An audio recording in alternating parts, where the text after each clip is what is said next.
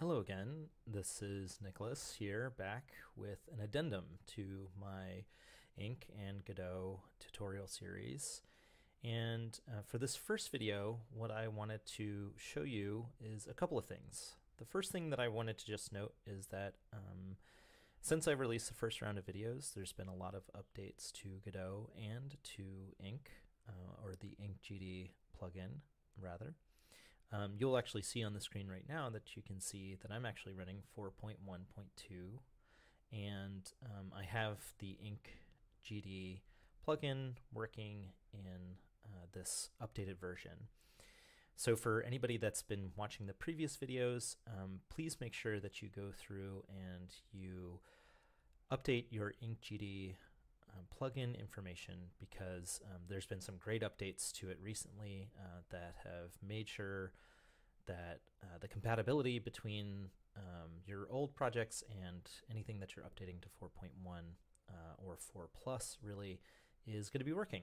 The other thing that I want to update is that I've also gone back into this project and incorporated a couple of new features that users might be interested in checking out for themselves, um, mostly again because I didn't find uh, a concrete example of this in any of the documentation, but I thought I would show a practical example of how to implement uh, saving and loading your ink project and the state that that ink story is in uh, within your project and just to give you a sense of how to do that.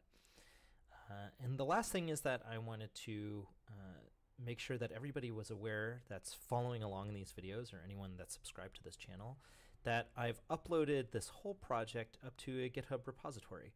So if you look down in the notes for this video below, you will see the direct link to that, um, but I'll also show it to you right now.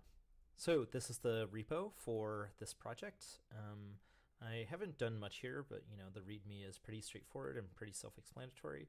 Um, but I'm going to be hopefully trying to contribute to this project and add functions and features and whatever other things and kind of keep this up to date so that people can try to continue to come back to this project and tinker with it, experiment with it, and figure out how they can implement Ink into their projects, into their Godot projects, I should say.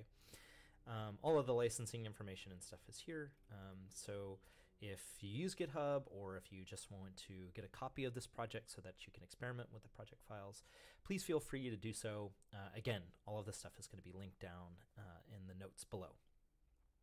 Okay, so this is just a short video that's saying that I've made some updates to this project. Go check out the GitHub repository and come back for the next video to check out how to implement saving and loading in our visual novel example project that we have here.